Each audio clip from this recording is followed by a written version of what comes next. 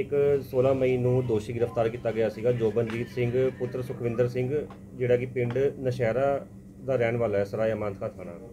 ਉਹਦੇ ਕੋਲੋਂ 100 ਫੁੱਟੀ ਰੋਡ ਤੇ 200 ਗ੍ਰਾਮ ਹੀਰੋਇਨ ਬਰਾਮਦ ਕੀਤੀ ਗਈ ਸੀਗੀ। ਉਹਦਾ 3 ਦਿਨ ਦਾ ਰਿਮਾਂਡ ਲੈਣ ਤੋਂ ਬਾਅਦ ਉਹਦੀ ਬਰੀਕੀ ਨਾਲ ਪੁੱਛਗਿੱਛ ਕੀਤੀ ਗਈ ਤੇ ਕੱਲ ਸ਼ਾਮ ਨੂੰ ਇੱਕ ਵੱਡੀ ਸਫਲਤਾ ਹੱਥ ਲੱਗੀ।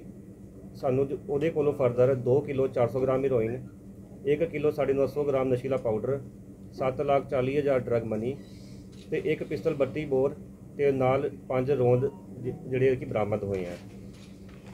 ਇਹਦੀ ਕੀ ਫੋਰਵਰਡ ਤੇ ਬੈਕਵਰਡ ਜਿਹੜੇ ਲਿੰਕ ਨੇ, ਉਹਦੀ ਬਾਲ ਕੀਤੀ ਜਾ ਰਹੀ ਹੈ ਤੇ ਸਾਨੂੰ ਉਮੀਦ ਹੈ ਕਿ ਜਲਦੀ ਇੱਕ ਵੱਡੇ ਨੈਟਵਰਕ ਦਾ ਖੁਲਾਸਾ ਹੋਏਗਾ। ਅੱਛਾ ਸਰ ਇਹ ਜਿਹੜਾ ਸਾਰਾ ਸਮਾਨ ਇਹਦੇ ਕੋਲ ਬਰਾਮਦ ਕੀਤਾ ਗਿਆ। ਇਹ ਜਿਹੜਾ ਬਾਕੀ ਸਮਾਨ ਹੈ ਹੈਰੋਇਨ ਜਿਹੜਾ ਬਾਕੀ ਦੱਸਦੇ ਇੱਕੋ ਜਗ੍ਹਾ ਤੇ ਰੱਖਿਆ ਸੀ ਜਾਂ ਕਿਸੇ ਦੇ ਕੋਲ ਮਿਲਿਆ ਸੀ? ਕਿਸ ਤਰੀਕੇ ਇਹ ਇਹਨੇ ਆਪਣੇ ਅ, ਦੋਸਤ ਦੇ ਘਰ ਚੀਮਾ ਕਲਾ ਪਿੰਡ ਉਹਦੇ ਇਹਨੇ ਕਿਚਨ ਦੇ ਵਿੱਚ ਛੁਪਾ ਕੇ ਰੱਖਿਆ ਹੋਇਆ ਸੀਗਾ। ਤੇ ਉਹ ਦੋਸਤ ਵੀ ਹਿਰਾਸਤ ਵਿੱਚ ਲਿੱਤਾ ਜਾਏਗਾ ਜਾਂ ਉਹਨੂੰ ਪਤਾ ਹੀ ਨਹੀਂ ਸੀ? ਹਲੇ ਉਹਦੀ ਪਾਰਟ ਆਫ ਇਨਵੈਸਟੀਗੇਸ਼ਨ ਹੈ। ਉਹ ਆਪਾਂ ਪੁਆਇੰਟ ਜਿਹੜਾ ਐਕਸਪਲੋਰ ਕਰਦੇ ਜਿਹੜਾ ਰਿਵੋਲਵਰ ਦੱਸਦੇ ਪਏ ਜੀ ਇਹ ਕਿੱਥੋਂ ਦਾ ਕਿਹੜਾ ਦੇਸੀ ਇਹ ਹੁੰਦਾ ਜਾਂ ਦੂਸਰੀ ਇਹ 32 ਬੋਰ ਪਿਸਟਲ ਹੈ ਜਿਹੜਾ ਕਿ ਐਮਪੀ ਜਾਂ ਯੂਪੀ ਵਾਲੀ ਪਾਸੇ ਬੰਦ ਬੰਦਾ ਹੁੰਦਾ ਅੱਛਾ ਸਰ ਇਹਨੇ ਸਪਲਾਈ ਦੇਣੀ ਕਿੱਥੇ ਸੀ ਇਹ ਨਸ਼ੇ ਦੀ? ਇਹ ਜਿਹੜੀ ਸਪਲਾਈ ਕਿੱਥੇ ਦੇਣੀ ਸੀਗੀ ਉਹ ਆਪਾਂ ਇਨਵੈਸਟੀਗੇਟ ਕਰ ਰਹੇ ਹਾਂ। ਸਾਡੀ ਬਾਲ ਜਾਰੀ ਹੈ। ਉਹ ਇੱਕ ਆਪਰੇਸ਼ਨਲ ਪਾਰਟ ਹੈ ਤੁਹਾਨੂੰ ਹਲੇ ਦੱਸ ਨਹੀਂ ਸਕਦੇ। ਲਿਆਂਦਾ ਕਿੱਥੋਂ ਸੀ ਇਹਨੇ? ਜਿੱਥੇ ਲਿਆਂਦਾ ਸੀਗਾ ਇਹ- ਇਹਨੇ 15 ਤਾਰੀਖ ਨੂੰ ਡਰੋਨ ਰਾਹੀਂ ਇਹ ਸਮਾਨ ਅ, ਚੱਕਿਆ ਸੀਗਾ ਬਰੋਪਾਲ ਪਿੰਡ ਤੋਂ। ਇੱਕ ਅਲੀ ਨਾਂ ਦਾ ਸਮਗਲਰ ਹੈ ਪਾਕਿਸਤਾਨੀ।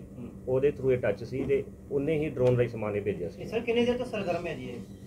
ਇਹ ਇਸ ਤੇ ਪੁਰਾਣਾ ਇੱਕ ਅ, ਪਰਚੇ ਦੇ ਦੱਸਣ ਮੁਤਾਬਕ ਪਰਚਾ ਹੈਗਾ ਆਪਾਂ ਉਹ ਕਢਵਾ ਰਹੇ ਡਿਟੇਲਸ ਤੇ ਇਹ- ਇਹਦੇ ਦੱਸਣ ਮੁਤਾਬਕ ਤੇ 4-5 ਸਾਲ ਤੋਂ ਇਹ ਕੰਮ ਕਰ ਰਿਹਾ। ਅੱਛਾ ਇਹਦੀ ਬੈਕਗ੍ਰਾਉਂਡ ਕੀ ਹੈ ਜੀ ਸਰ ਇਹ ਆਪ ਨਸ਼ਾ ਕਰਦਾ ਸੀ ਜਾਂ ਨਹੀਂ ਕਰਦਾ ਜਾਂ ਕੰਮ ਤੋਂ ਹੋਰ ਕੀ ਕਰਦਾ ਸੀ?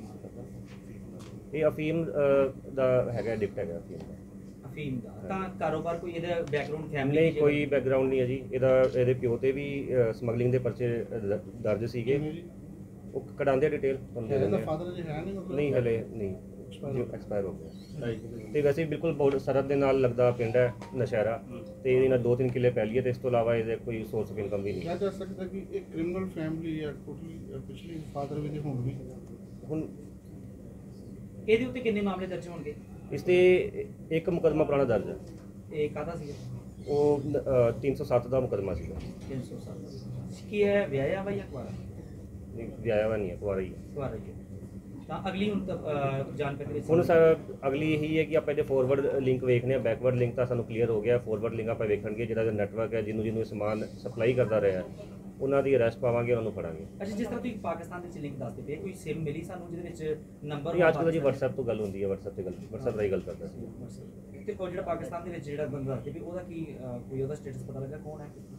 ਨਹੀਂ ਉਹ ਉਹ ਸਮਗਲਰ ਹੀ ਹੈ ਸਲੀਪਰ ਇਹਨੇ ਸੈਲ ਸੀ ਦੱਸਿਆ ਵਾ ਕਿ ਕੌਣ ਵਾ ਹਾਂਜੀ ਅਲੀ ਨਾਂ ਦਾ ਬੰਦਾ ਹੈ ਅਲੀ ਨਾਮ ਦਾ ਹਾਂਜੀ ਸਰ ਇਹ ਸਲੀਪਰ ਸੈਲ ਸੀ ਕਿ ਜਾਂ ਫਿਰ ਮੇਨ ਤਸਕਰੀ ਹੋਈ ਹੈ ਕਿ ਇਹ ਆਪ ਖੇਪ ਮੰਗਾਈ ਆਪ ਅੱਗੇ- ਇਹਨੇ ਆਪ ਹੀ ਖੇਪ ਮੰਗਾਈ ਹੈ ਜੀ ਆਪ ਤਸਕਰੀ ਆਪ ਹੀ ਖੇਪ ਮੰਗਾਈ ਹੈ Sleeper ਆਪ- cell ਦੀ। ਨਹੀਂ ਨਹੀਂ ਆਪ ਹੀ ਮੰਗਾਈ ਹੈ ਠੀਕ ਹੈ